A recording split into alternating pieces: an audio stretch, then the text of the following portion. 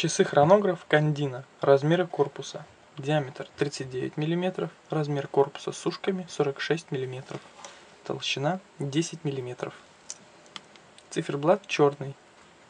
На заводной головке логотип производителя. На задней крышке часов логотип производителя и информация о часах.